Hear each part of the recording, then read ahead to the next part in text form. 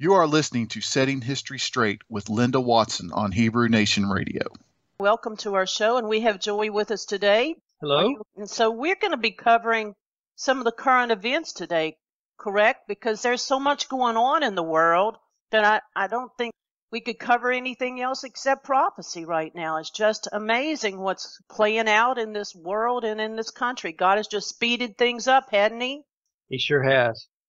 And so I thought we would start, and I think Amos 6, verse 10, and it says, And a man's uncle shall take him up, and he that burneth him to bring his bones out of the house, and shall say unto him that is by the side of the house, Is there any with thee?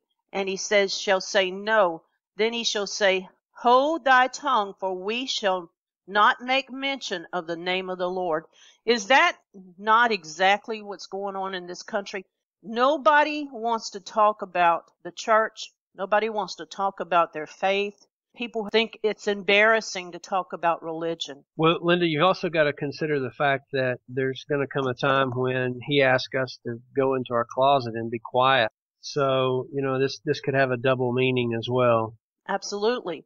But I think it's so significant that we see this verse and it's telling you that even when somebody dies in your house, don't even talk about them at the funeral. Don't don't bring God up. Don't talk about God in your land. We don't we just don't talk about God. It's just not a polite thing to do. It's not what they call politically correct, is it? Nobody wants to talk about God. And so this is where we've come in our land. This is where we've come. And Joey is absolutely right. There's going to be a time that we need to hold our tongue because it, our life may depend upon it. That's so correct. if while we're here in Amos, let's talk about Amos 7 and verse 7 and 8. Can you read that for us, Joey? 7 and 8. Thus he showed me, behold, the Eternal stood on a wall made with a plumb line, and with a plumb line in his hand. Notice the wall is made with the plumb line, and he holds the plumb line. And the Eternal said unto me, said unto me, Amos, what do you see? And I said, a plumb line. And then the Eternal said, Behold, I am setting a plumb line in the midst of my people Israel, and I will not pass by them any more. I want to read verse 9 as well because that kind of continues the thought. It says, The high places of Isaac shall be desolate, and the sanctuaries of Israel shall be laid waste, and I will rise with the sword against the house of Jeroboam. Now, Linda, you may have a different take on this, but uh, the way I see this is um, that this is a calendar statement. And, you know, today the religions, Christianity, and I, I use the term religions of Christianity because there's so many various sects, but they all have one in com- one thing in common, and that is they hold to the calendar that is of Pope Gregory. That is the accoutrements of the Catholic Church. Uh, whether they say they come out of them or not is irrelevant because their actions indeed say that they do not. Um, when it brings up the house of Jeroboam, it is speaking strictly of how Jeroboam left or separated himself with the success of King David's house, which is the house of Judah. Back in, you can read the story in Second Chronicles, Chronicles, the 11th chapter, where Jeroboam stepped out and and changed the calendar, kept the Feast of Tabernacles in the eighth month when he established his own priest apart from that of Levi and basically changed. He was the first that began the process of changing times and laws for the house of Israel after King David. And so this plumb line that is being set up or that's being questioned, in my opinion, the plumb line is that of the keeping of time. And of course, our Father's covenant law is established on the keeping of time. And a lot of people miss that, especially those in the Christian faith. Right. And, and I also see that there's a plumb line already drawn in this country between the the people that we call the liberals and the people that are called the conservatives. And I think it's very interesting that who is feeding this this division and the, the people that are feeding this division is the news media. There's Our no country is divided in half. And when we look at the differences between the two of us, there is some differences, right? Doubt. That's correct. the news media have made it their job to continue to stir up this this conflict that's going on between the liberals and the conservatives. And I think this is what God is using Trump for to draw attention to the news media because they're so corrupt and they're destroying our country. That's correct. That's absolutely correct. And um, you know, there's a battle going on that's that's above and beyond the physical things that we see on CNN and Fox and MSNBC uh, that that you will not be told, and that story is told in the pages of the Scripture. Um, that's you know we we could read in Daniel the the 12th chapter about a man by the name of Michael standing up for his people. You can read about the fact that this news media is basically falsifying what's truly going on. They're they're shutting their ears. They are not speaking the truth. And you're right, Linda. That goes back to what's being said here. And when he says he will not pass by them anymore, there's this wink, wink that's going on that out of his grace he has he has allowed for so many years. And there comes a time when that line is drawn in the sand, and he says no more. That's exactly right.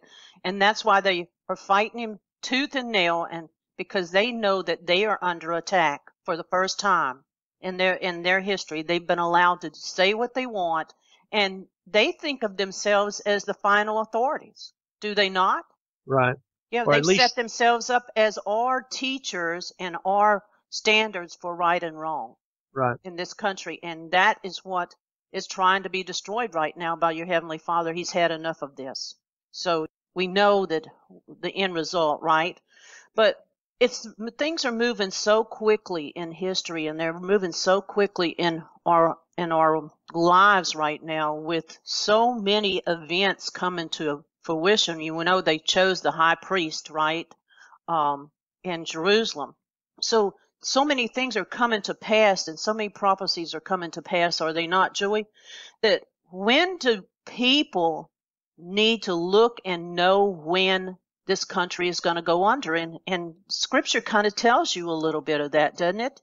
Um, let's just flip over one more page and talk about Amos 2, uh, Amos 8, verse 2. I'm going to read this one, Joey uh, actually, I'll start in verse 1, and it says, Thus said the Lord, Show unto me, and behold, a basket of summer fruit.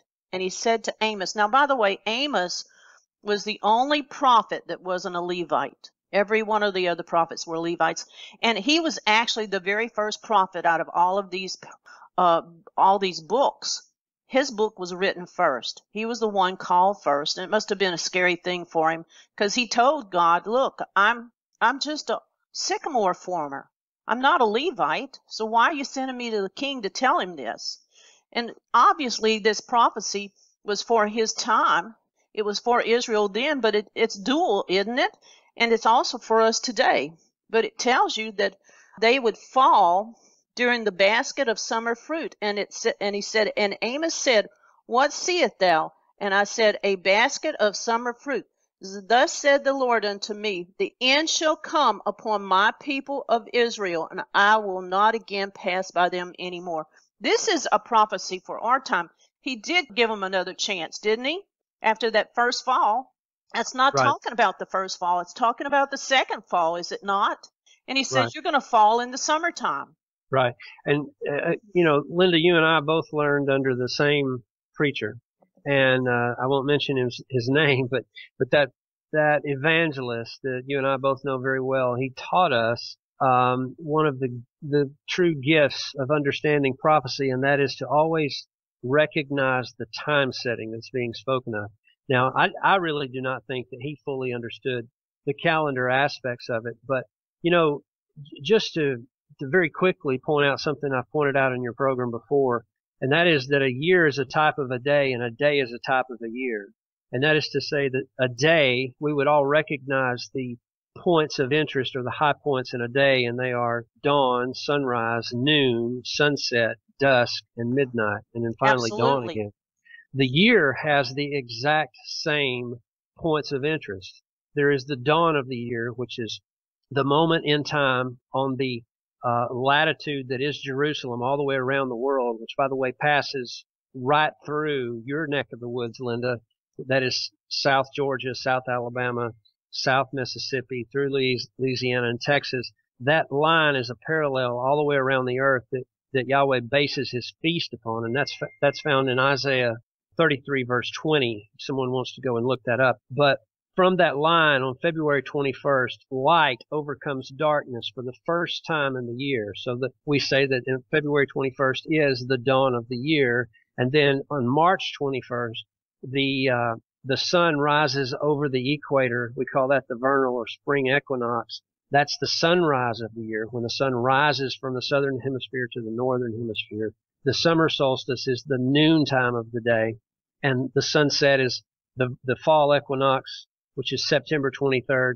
And finally, the, the, the dusk of the year when light overtakes darkness by one minute in the day. That is October 23rd. And then finally, the winter solstice is December 23rd, the shortest day of the year when the sun is at its its weakest point. And, and that we would call that the midnight of the year. And then finally it starts all over again. So this, this period, this time setting you're talking about here of summer wheat would be the period sometime, um, in the summertime or the, the period from June, July, and August, somewhere in that vicinity. Yes, it would. And I think it goes further into Jeremiah 6 when it says the armies come uh, upon you at Yes. noon.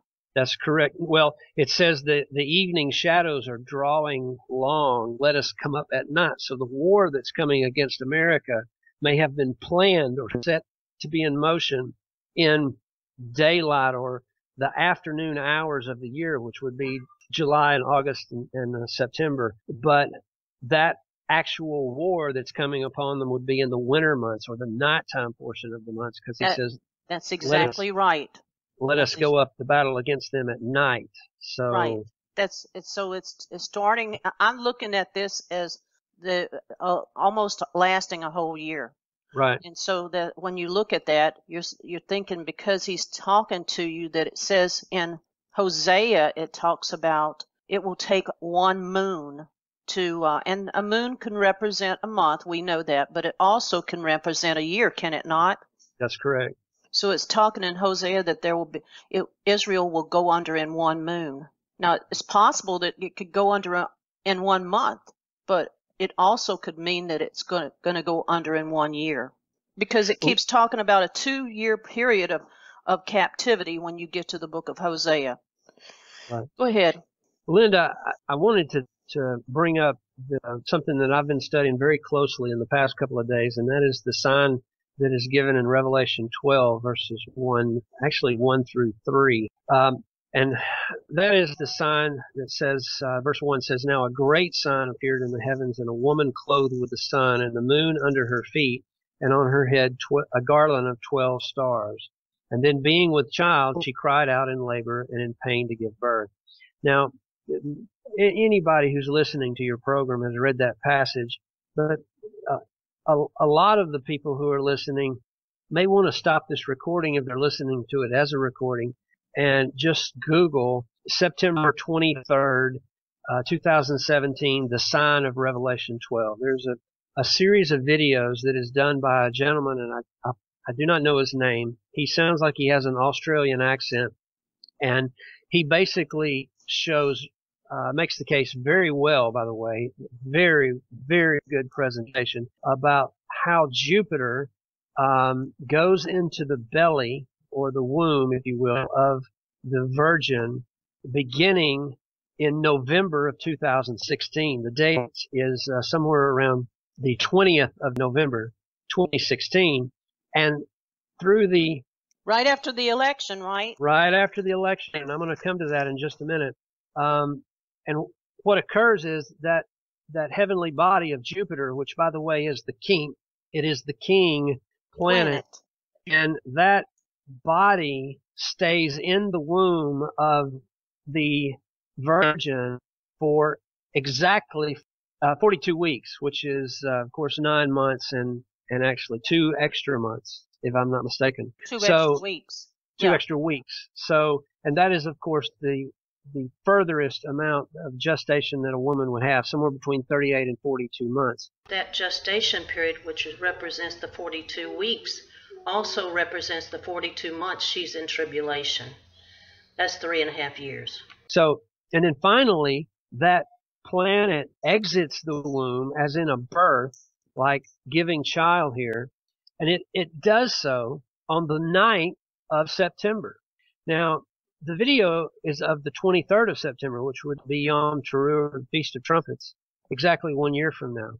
But that planet is still between the legs in that date, and I think that's the case that they're making. That that period of time is the period that it's being born and cleaned up and whatnot. Now, a lot of people may have seen that video, but I don't think that they have equated that passage in Revelation 12 to what is said both in Daniel, the 12th chapter, where there is a time of trouble like has never been before, and what occurs to cause that to take place. Now, you mentioned the election, Linda, but the second half of that passage, and I'm speaking specifically Daniel 12 verse 1 says, and there shall be at that time a time of trouble such as never was since there was a nation, even unto that time.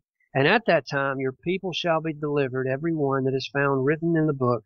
And it goes on to say, many, verse 2, many of those who sleep in the dust of the earth shall awake, some to everlasting life, some to shame and everlasting contempt. And we know that that's the time period of the, the resurrection, both of the saints and of the house of Israel.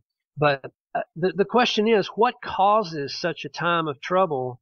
And is that the same period as the gestation period, the 42 weeks in which the woman is impregnated and finally gives birth? And what exactly, Linda, is she giving birth to? That's the question that I would like to try and attempt to answer here. And, and I'd like your thoughts on it. What are your thoughts before I go into this? Well, I I think she's the remnant, she's the outcast, and she could be the uh, people that's in the churches. We do know that in the book of Revelations it says the woman goes into the wilderness, the dragon comes after her, and her he can't overcome the woman, so he goes after her seed who are keeping the commandments, which would be this is this would be the people who are keeping the Sabbath, the holy days, and it says they have the testimony of uh, of Jesus, of the Messiah. So what he's saying here is some of those people the dragon is going to turn around and go after are believers. Well, Linda, you opened They're not the program. taken into the wilderness. You opened not the all of program. them. Right, right. Um, you opened the program by saying that you know it's it's in, it's politically incorrect to talk about religion and I wanted to add politics because the two go hand in hand. You, you really can't speak correctly to one without speaking about the other. And those are the two things that society tell you that you can't talk about. This is a religious subject that ties directly to the politics of the coming government or the kingdom of, of the Most High. So that said, I want to read specifically the passage that you just quoted, which is Revelation 12 verse 17. And there's something here that in discussing this with, with my wife yesterday, we or I got it through my thick skull that there that something I have missed, and it is this. It's the passage the, the verse says this. And the dragon was enraged with the woman, and he went to make war with the rest of her offspring, who keep the commandments of God and hold to the testimony of Christ. The key phrase that I had missed is the rest of her offspring. Now, this is the same woman, the virgin, right? Is it is Right. that what it says? It does Well, it not does- call her a virgin. But No, it does doesn't. it does refer to her as the virgin in Isaiah 56, where it talks about this barren woman Okay, who hold that, will have children. hold that thought for just a minute because this is where I want to head. This woman we've equated to as a virgin, and the the woman in the stars is equated to as a virgin, right? Where Jupiter Right. goes into that belly of that womb. Okay, and I'm making the case that this is not Mary birthing Christ as the church has taught us. It, Right. First of all, it, does, it doesn't make any sense.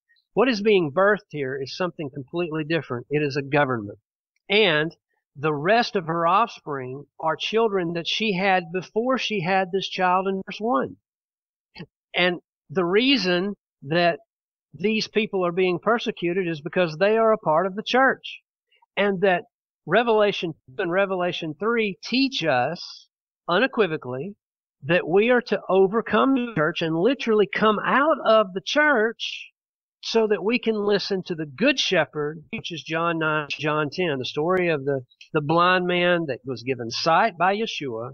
And now in chapter 10 of John, he can listen to the voice clearly without the static, if you will, of the false doctrines of the church. Because seven times in Revelation 2 and Revelation 3, we are told we must come out of the church. We must overcome the the things that the churches have for us.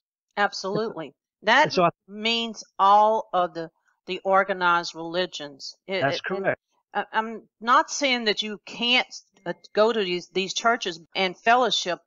I'm really saying that where do you take your your walk? I mean, do you let organized churches and religions dictate to you how what you believe? That's what we're talking about here. Yeah, you you've got to almost become. There's no other way to say it. You've got to be out on an island by yourself and Christ. There's no other way to say it. And when when you attend these churches, you are putting a mediator between you and the Father, and that mediator is not Christ; it's your pastor. And I, I don't care how lovely and sweet you think your pastor is. I can promise you unequivocally you're being taught false doctrine. I can promise you that. I have not seen one organization that has all of the truth, and I haven't seen one that has a lot of it. I'll right. just say that. and so what has happened is we have just immediately think that we have have the truth and the knowledge, but there's some there's some teachings that are going on that needs to stop. Okay, Linda, I want to take I've just set the stage for where I'd like to go, and that is Isaiah the seventh chapter. Okay. Because I think we have missed the boat in understanding what's being said here. It's just like the promised land, Linda, right? When we read Deuteronomy, the eighth chapter, and we read about the promised land and the children of Israel crossed over the, the uh, river of Jordan into what would now be today modern day state of Israel in the Middle East, that that was simply a stopping point, if you will.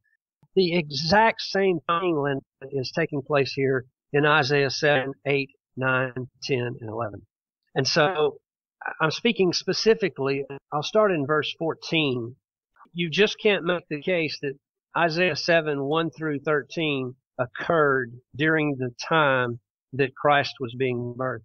It, you just can't make it fit. History doesn't fit. But you can make the case that it is happening right now.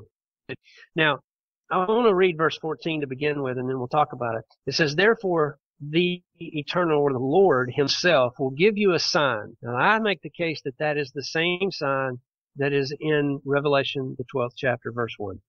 Behold, yes. a virgin, and, and that word is not virgin like we would think of as a woman who has never given birth. This is a, the word is Alma in Hebrew, and it's not always a virgin. It can mean a young maiden, okay? Someone who has actually given birth. But a young maiden shall conceive and bear a son, and shall call his name God with us, Emmanuel. That's the way it's translated. Now, so this is a verse that can actually have a dual meaning, can it not?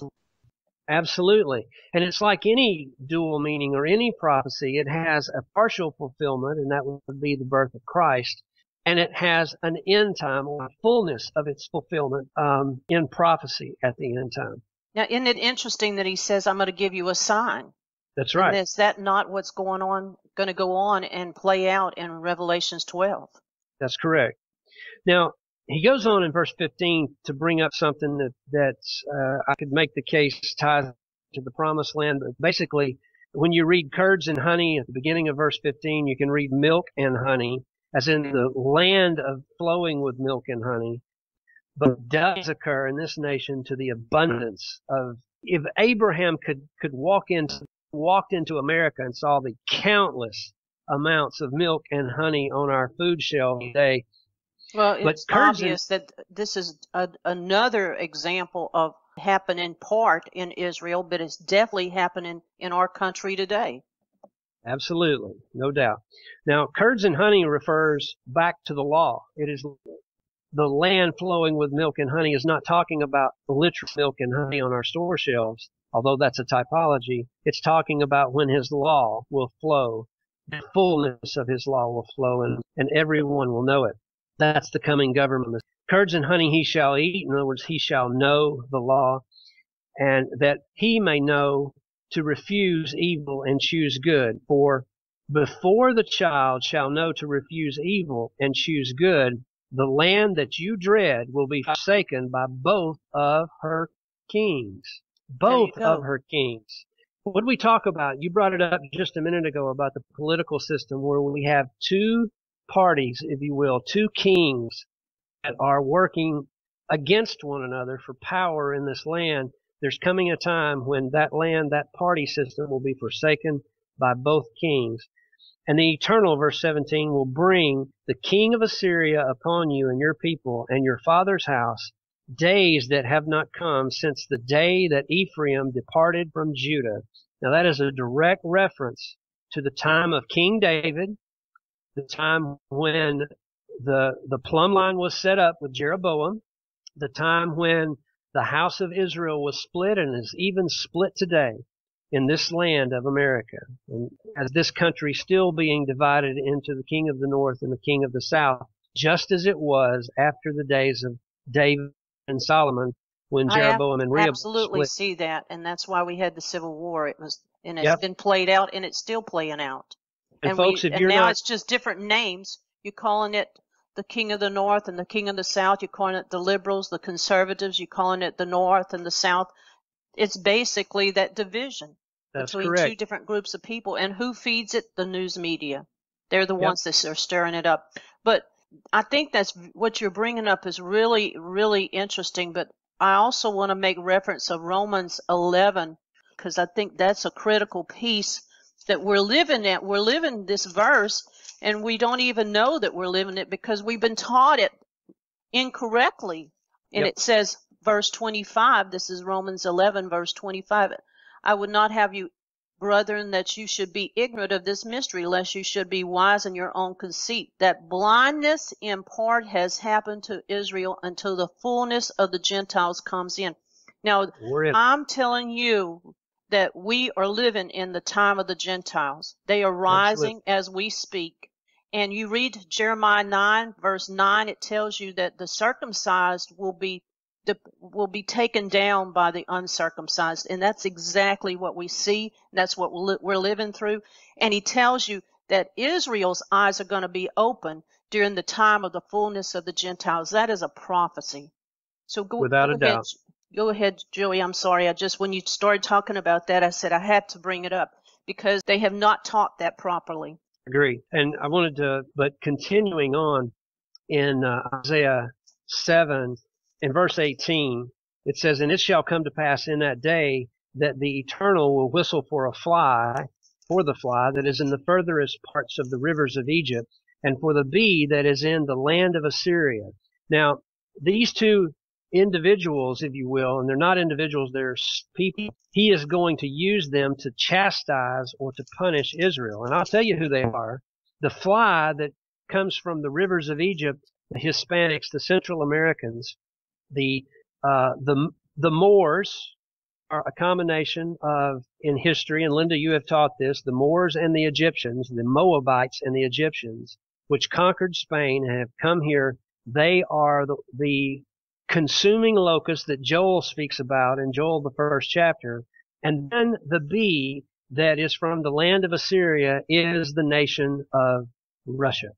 And Absol- anybody You are any- absolutely right because that's where Ezekiel 38 Yep. comes in and it says she Yep. he comes Gog and comes against the cities of Israel when they are at peace in right. unwalled cities. You got it.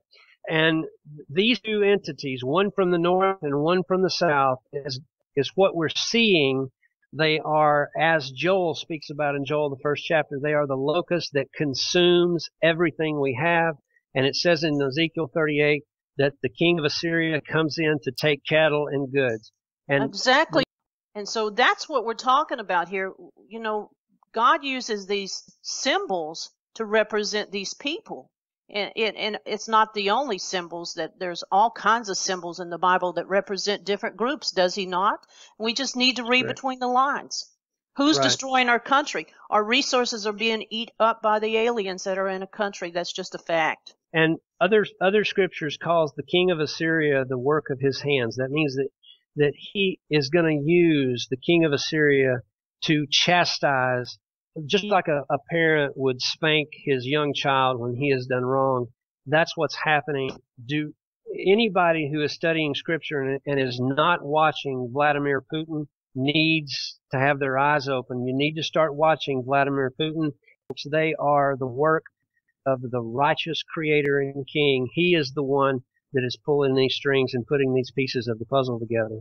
Yes, and absolutely right. And there's also a man named Dugin who Yes. is driving. He's the advisor to Putin, and he is Yep. a priest in the Greek Orthodox Church. He is he That's is correct. absolutely driving this, and he's said many times, "We're going to revive the Holy Roman Empire," and their plan is to take Turkey, Iran, and Central Europe, and eventually, you know that when you read Ezekiel 38, it comes against the unwalled cities. Well, the unwalled cities can't be Jerusalem. They Nope. have to be our land. We are that land. Gog and Magog takes a large contingency, confederacy with them when they come against the uh, the land of Israel. Takes a large contingency. It's a lot of people. So they're going to be like a cloud in our land. It's going to be so many. Linda, I want to get to Isaiah 8, if, if nothing else, and I want to get to 9, 10, and finally 11, because 11 is really the culmination of this prophecy um, when, you know, Yeshua sets his hand a second time to recover the remnant of the house of Israel.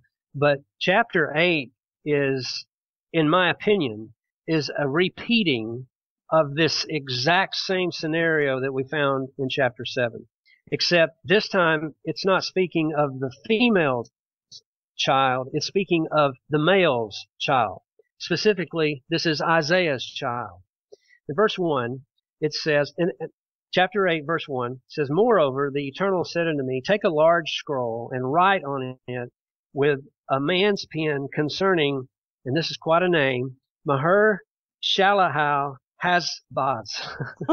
and literally what that what that means is speed the spoil and hasten the booty. Speed the spoil and hasten the booty. And I will take for myself faithful witness witnesses to record Uriah the priest and Zechariah the son of Jeberechiah. Verse three. Then I went to the prophetess, and she conceived and bore a son. And the Eternal uh, said to me, Call his name Maher Shalai Hazbaz. For before the child, notice this time setting, Linda, again, you've got to know the time setting. Before the child shall have knowledge to cry, my father and my mother, and that's a period of what? About a year. A, a child that's a year old will begin to say mama, dada, right? Yes, one or two years. Right. Okay, before that period occurs, the riches of Damascus and the spoil of Samaria will be taken away before the king of Assyria. Now, this is the reason this video that gives the time setting of the conception occurring in the middle of November and the birth occurring nine months later, basically, in September of 2017 is so important because if that child that's being spoken of in Revelation, the 12th chapter, is this exact same child being spoken of here in Isaiah 7 and 8, then we're looking at the period of the king of Assyria coming into the land and taking the spoil and destroying it literally in America's eyes as being the period of September before September 2018. And that, that comes into play because of the passage you brought up in Jeremiah, the sixth chapter, which said, Let us make war against the virgin daughter of Zion.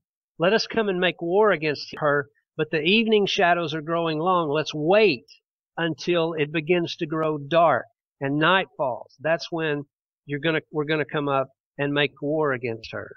So what, what these passages are doing is giving us the time setting according to the sign of Revelation, the 12th chapter, if all of those pieces of the puzzle fit together, then, you know, we can know these things. We, we can see them coming about. And this election, I talked about just a minute ago, Linda, about what would set in motion a pregnancy, a time of trouble. You know, a woman that's that's just become pregnant for no reason. She doesn't understand even before she really knows she's pregnant. She begins to have morning sickness. She begins to have a time of trouble that she's never experienced before. And so, and that gets worse and worse and worse as it goes along. Um, I have a feeling that this this child that's being born is the birth pains of the government of Yahweh and all that goes with it. And it could be a very, very, very rough time in the nation of end time Israel, the United States of America, in the coming Absolutely. years. Absolutely. And so if you look at Isaiah 9, verse 6, and you may be about to go there, it says, And that child uh, unto us a son is given, and a government government shall be on his shoulders. And Linda, you know, that passage is is read, I guess, every Christmas time. But those of us who know the truth and keep the Feast of Tabernacles, we, many of us that know the truth, actually celebrate the birth of Christ. And we go to this passage and we read it during the feast because we, we know the time that we're celebrating is when he was born. But even Christ's life, even his birth, his life, his burial, and his resurrection is a typology of the coming government on this earth. And that is the government of Yahweh the Most High. This is a pretty powerful statement when he says he's coming to bring a government, and the Absolutely. government shall be upon his shoulders. Yeah, absolutely. So does everyone see that what's being played out here is a is another symbolism that's being played out every scripture and every verse has a second meaning, does it not? And so this is being played out again. It's been And- and played out again in a different way, but it's being played out again. The churches would never teach this and they would never see it. They, I mean, they, they get in their little box and they want to teach their, their doctrines and they, they do not want people to think outside that box. And that's where the truth lies. That's where the depths of, of scripture and the depths of understanding lie is outside of your church organization. I, there's no problem going to church there, but you've got to begin to think outside of what they're teaching you in the church. And it wasn't until Maria and I left these organizations that we finally began to glean things from Scripture. And I know you, Linda, are the same way. I've known you for a very long time, and you have grown exponentially because you've left the church. I can't say it. I can't say it any better. You do exactly what Ruth did. The laborers were in the field. That was the false that's- laborers, right? The false laborers were in the field. But what did Ruth do? She gleamed along the edge. And that's what we got to do. We got to pick the truth wherever it is. Linda, We don't attach ourselves to an organization. And we don't just accept everything that they teach, especially when they brought in things that they can't find in Scripture.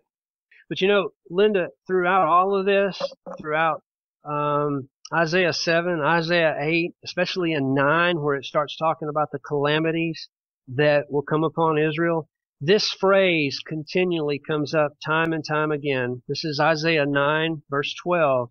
At the end of the verse, it says, For all of this, his, Yahweh's anger, is not turned away. His hand is still stretched out. His, his hand is stretched out still. In other words, return to me. Return to me. He says it again in verse 17, the end of that verse. For all of this, his anger is not turned away, but his hand is stretched out still.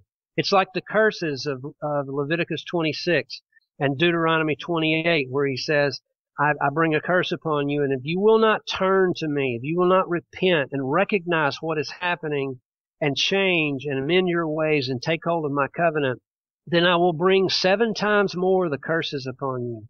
He says it again at the end of verse 21. For all of this, his anger is not yet turned away, and his hand is still stretched out. Come, return to me. Chapter 10, verse 4. For all of this, his anger is not turned away. You need to be reading in your studies. We don't have time to go through this in depth, but these, between these passages where he says, for his anger is still not turned away, there is curse after curse after curse of desolation that's coming upon this land. And so this theme of trying to get Israel to repent, even in the very last wait, waning hours, is evident in Scripture. His mercy is there if we will just repent. Absolutely. And this And everyone says, "Well, I can't do anything. I'm not a prophet. I can't I can't show people what's coming on them." Well, everybody has Facebook. And what does it Absolutely. take to put Yeah. a little remark out there every once in a while telling people if nothing else put some scriptures out there for them to read. You know, it, it, That's right. you know i we can all do our part can we not and if everybody in the in the that's a believer just went out to facebook and posted a you know a few um remarks and a few scriptures that goes a long way because right. maybe people And- will think about that and I, I hate to keep harping on the church, but Linda, that's that's where people can do the, the in my opinion, the greatest work is to start making people think. You know, if you if you go to church and you- you're you've gleaned all you can glean from the pastor or the minister, why don't you start teaching him? I mean, we, we used to just ask the question. You know, uh, our minister loved to go out and eat into the uh, on the Sabbath day to Ryan's and Golden Corral and places, and he'd have the, basically the whole congregation that wanted to go with him, and they would have fellowship there, and it was a great time. I mean, we really enjoyed it, but there come a point to where we started asking, you know, hang on a minute, the scripture says you're not supposed to buy and sell on the Sabbath day, and when we started doing that, we become ostracized, but we made people think in the process, and so that's the way Yahweh works. He tears down so that he can build back up in the proper way. he has to And- tear down the foundation the wrong foundation and put a new foundation in there and that's what i see that he's doing and Yeah. it, it, it's becoming very obvious at this point without a doubt. Well, let, there's a lot more that I wanted to go through, but I don't think we have the time. So I'll, these signs in the heavens, that's not the only sign that's going to occur. Because if you read Revelations 12, it says there's another sign in the heaven, and it's that Yep. it is the uh, red dragon, Yep. which has seven heads, and and it says, uh, and one of those heads is wounded. That is the actual story of the Hydra in Greek mythology. It was Hercules came and cut off one of the heads, and two heads come back, which is exactly what prophecy says will happen. Basically, telling you the story of the Hydra, which is in Greek mythology. So, all these years, people have thought Greek mythology, that's all paganism. No, those stories have been around for thousands of years, and they are That's right. actually now being coming to fruition, and they're coming. We're beginning to see that some of the Greek mythology is playing out in the heavens.